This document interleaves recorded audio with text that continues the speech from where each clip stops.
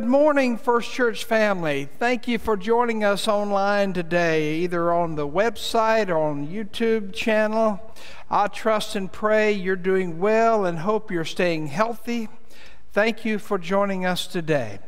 I do want to encourage you to call in on our sermon by phone program each week. I'm bringing a, a new message on Psalms 23 each week. Uh, we also have a new number for you to call, a, a number called uh, 941 870 3945. That'll be on the screen. That way you can call that local number and listen to the message that I share on the phone. Tell your friends about it and thank you for listening in. Now let's prepare for worship today as we pray together. Let us pray. Gracious and loving God, thank you for this time of worship. May each person who joins us today online be blessed in some way. May each of them be encouraged and feel your Holy Spirit present with them wherever they are. Bless this time of worship today. In Christ's name we pray. Amen. I invite you now to join me in this Glory Days declaration that is on the screen as we recite this together. These days are glory days. My past is past, my future is bright. God's promises are true, and His word is sure. With God as my helper, I will be all He wants me to be, do all He wants me to do, and receive all He wants me to receive. These are glory days. Lord.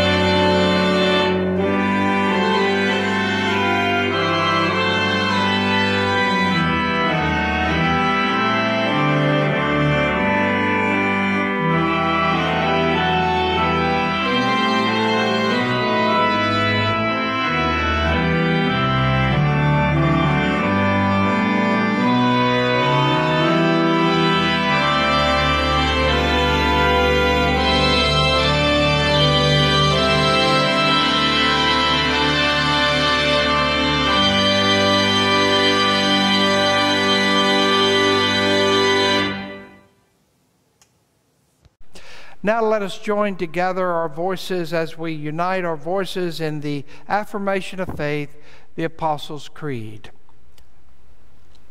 I believe in God the Father Almighty, maker of heaven and earth, and in Jesus Christ, his only Son, our Lord, who was conceived by the Holy Spirit, born of the Virgin Mary, suffered under Pontius Pilate, was crucified, dead, and buried. The third day he rose from the dead. He ascended into heaven and sitteth at the right hand of God the Father Almighty. From thence he will come to judge the quick and the dead. I believe in the Holy Spirit, the holy Catholic Church, the communion of saints, the forgiveness of sins, the resurrection of the body, and the life everlasting. Amen. As we go to the Lord in prayer today, uh, let us remember those who are sick and are in need of healing. I ask your prayers for Rosemary Altoff, who will be having surgery soon.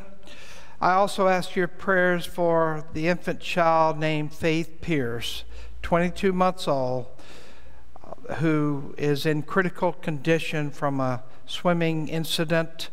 Uh, baby Faith was our baby Jesus two years ago in our church pageantry here. And so I ask you to continue to pray and pray for baby Faith during her parents during these days. I also want to remind you that services for Dorothy Merritt will, will be held here at the church on August the 8th at 2 p.m. Let us go to the Lord in prayer. Gracious God, as we come to you in this day, we pray for those who are in sick and are in need of healing. We pray, O oh God, for your healing touch upon Rosemary and the surgery she is going to be having. We pray for baby Faith that you bring healing to her. We pray for your comfort be with her family during this time.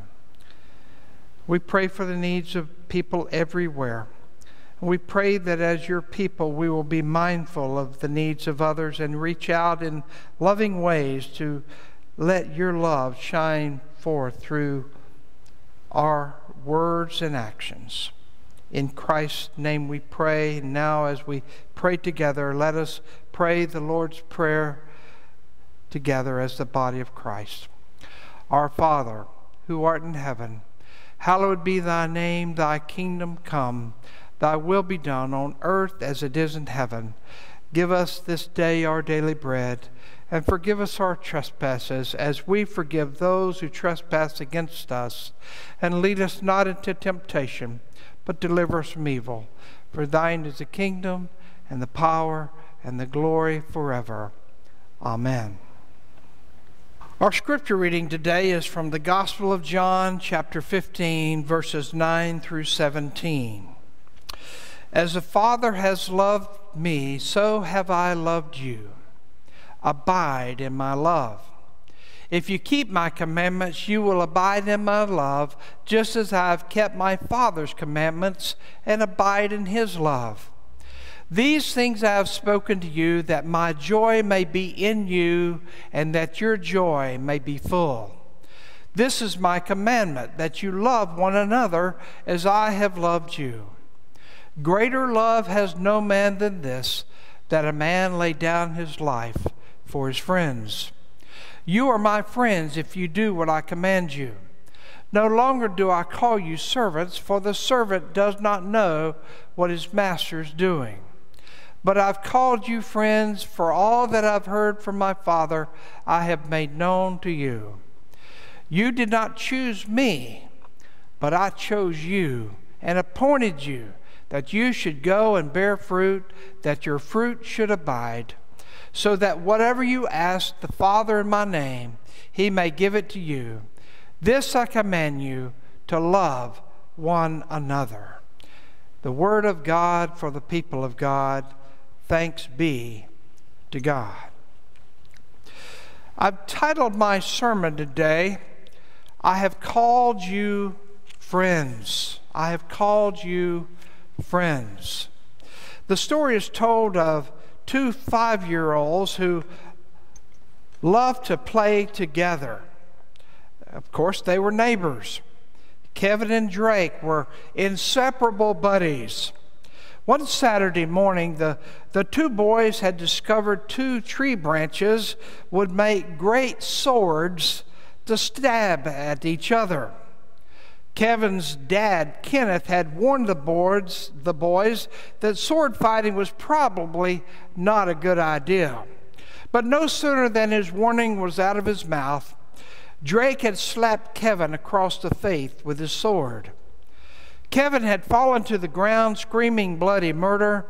Drake decided it was time for him to race home next door. Kevin's dad Kenneth comes over and gently picks up his crying son and carries him into the house for mom's assistance. Then dad goes next door to inform Drake's parents of the incident. Your son Drake just hit my son Kevin in the face with a stick. Please keep your son away from my son. Drake's dad turns to him and says, Son, and he quickly closes the door.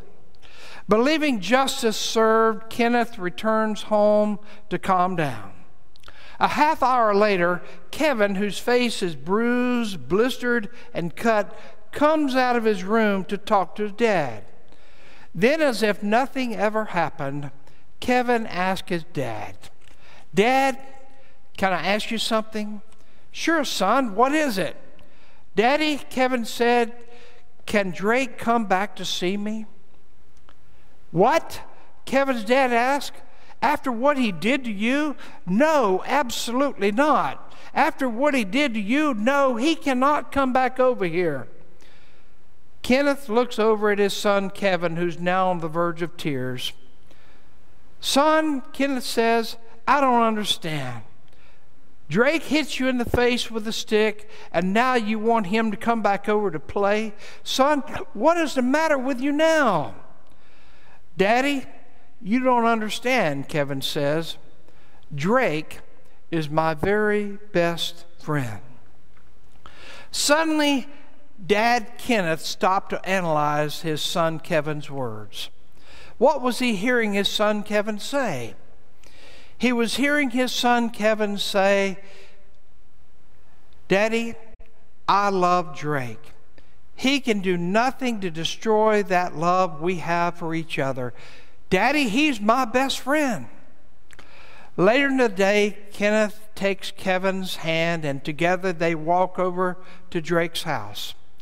Drake answered the door and immediately apologizes to Kevin for hitting him in the face the two boys once again began playing together. What I want to invite you today to do is to listen to what Kevin had said to his dad. Daddy, you don't understand. Drake is my very best friend. Think about those words for a minute. One day, Jesus was speaking to his disciples, and he says to them, I no longer call you servants because a servant does not know his master's business. Instead, I've called you friends. For everything that I learned from my Father have been made known to you. We need to notice that in Jesus saying this to his disciples, he's telling taking their relationship to the next level of trusted friendship. He continued to say to them, Everything I have learned from the Father I have made known to you. You see, Jesus is trying to prepare the disciples for anything that could possibly come to them.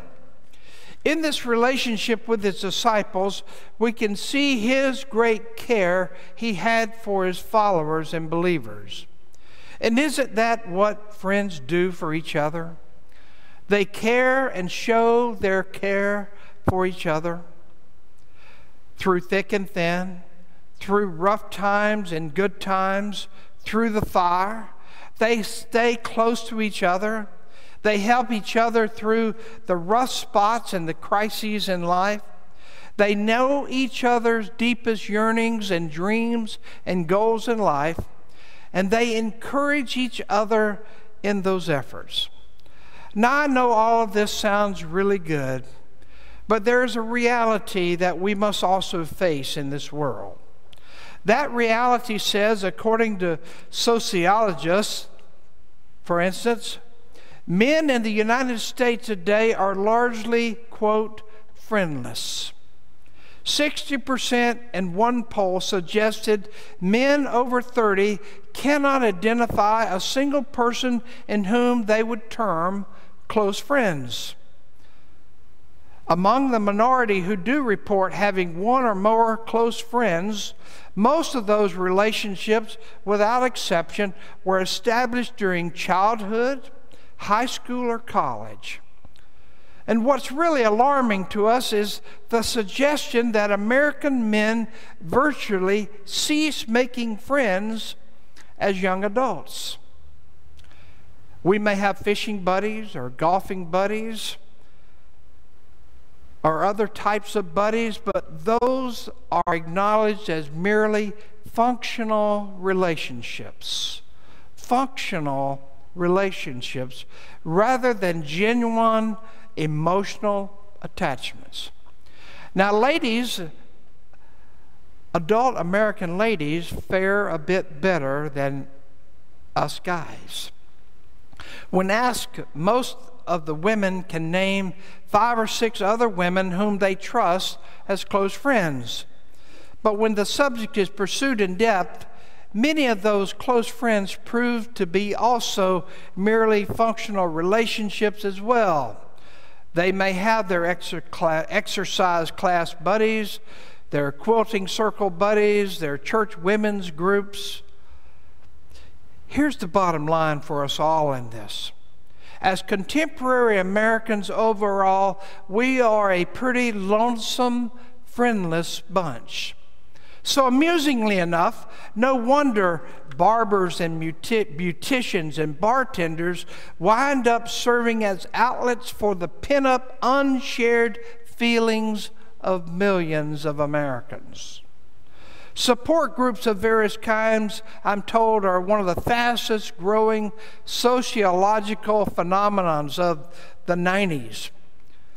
And we are not much better currently here in America today. The reality for us all is we all need friends.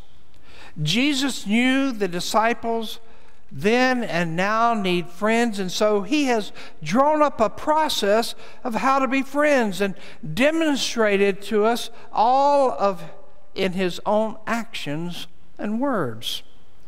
In my own personal story, let me tell you about my friend Jerry Bailey. Jerry's house was right across the street from my home church there in Lamont, Florida. He went to the Baptist church, and I went to the Methodist church. But once a month, both churches met together.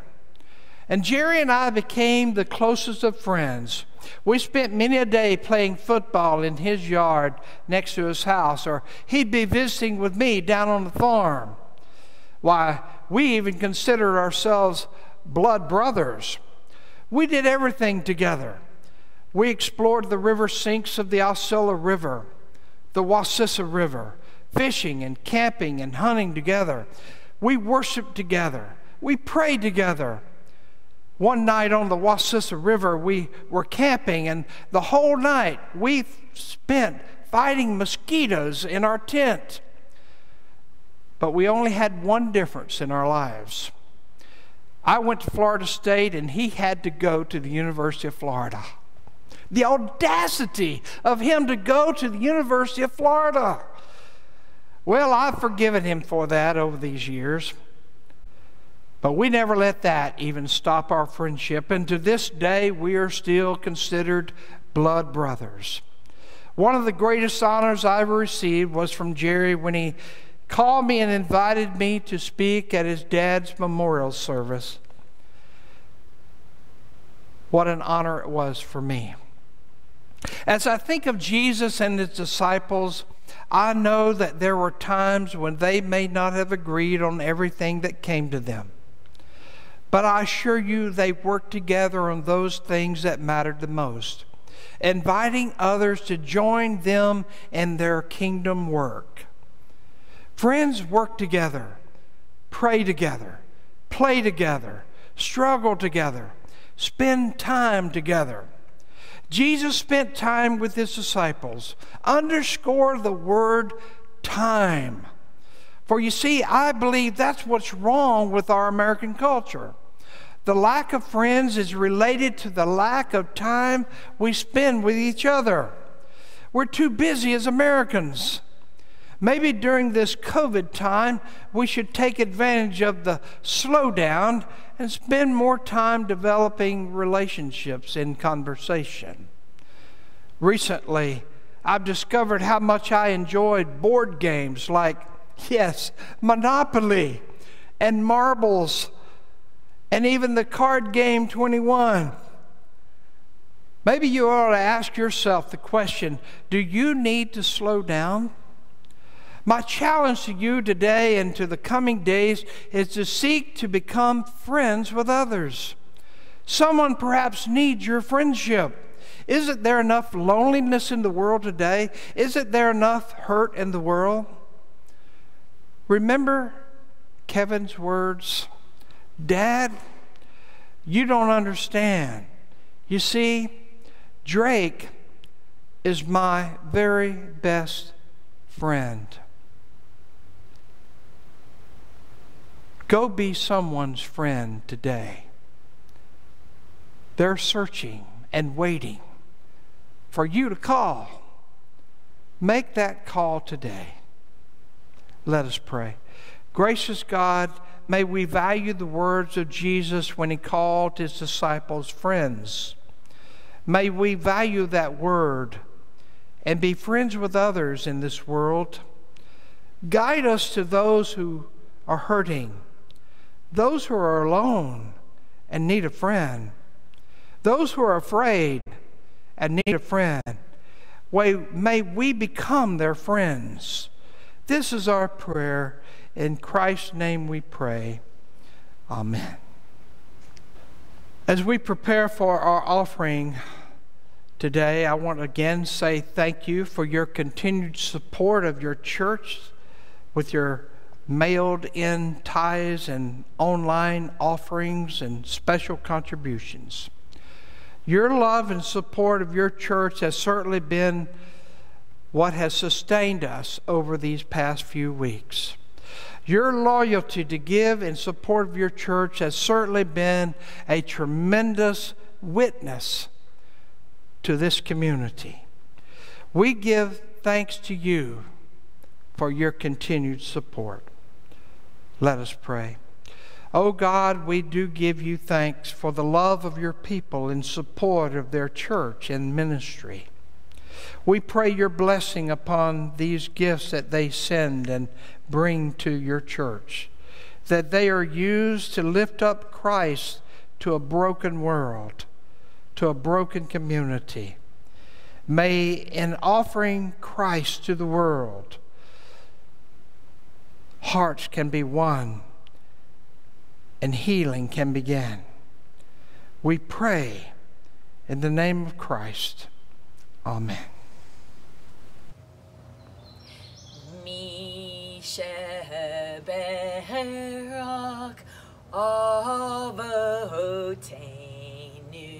mikor habracha Motenu. May the source of strength, who blessed the ones before us, help us find the courage to make our lives a blessing and let us say, Amen. Mi sheberak imotenu mikor habracha libotenu. Bless those in need of healing with Rafua Shelama, the renewal of body the renewal of spirits, and let us say, Amen. Mishabed.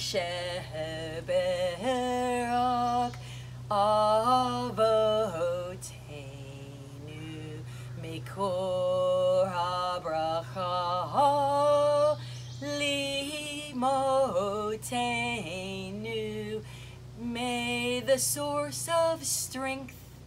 Who bless the ones before us? Help us find the courage to make our lives a blessing. And let us say Amen. Mi sheberak imotenu mikor habracha livotenu. Bless those in need of healing with Rafua Shelema, the renewal of body, the renewal of spirit. Let us say, Amen.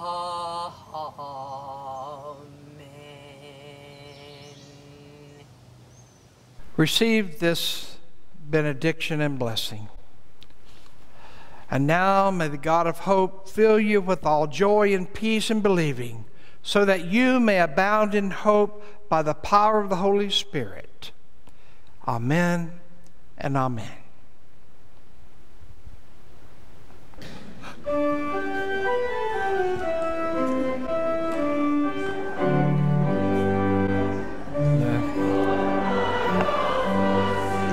Our true faith confessing the people of God from this dwelling.